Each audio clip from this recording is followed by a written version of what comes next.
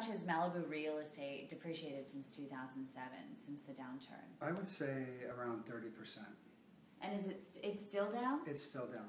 Really? Yes. Why is that? Why has it not recovered in this market? It's starting to recover, I feel.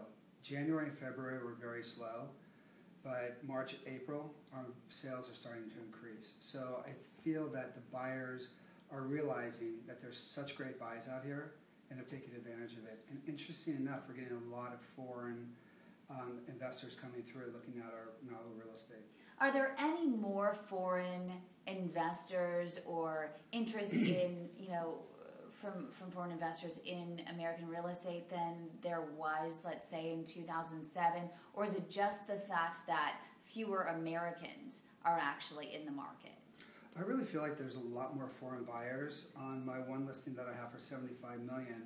I'm going to have three showings with Chinese buyers. I've had two with Russian buyers, and we didn't see that in 2007.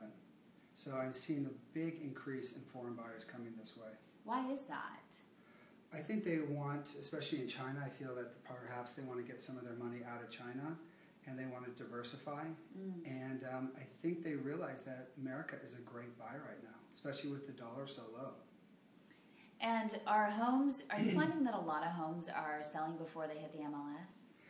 That happens occasionally. Um, I do have some pocket listings, and um, I have pre-sold a few. And what is the secret to selling those homes when it's not on the MLS? Any secrets there? Well, I think you know when something is a pocket listing, Kim, you realize that the, a lot of the buyers are doing their research before they go out, and if they see something that you can come up with that's not on the multiple listing service, sometimes they get excited and they will pull the trigger and purchase the property. Any more that are selling before the MLS than there were, let's say, in 2007? I think that market with pocket listings is pretty much always consistent. Mm. Um, I always feel though it's the best thing to do is to put in the multiple listing service to open it up to that many more buyers because perhaps you might be getting a multiple offer situation and that's the best scenario for the seller.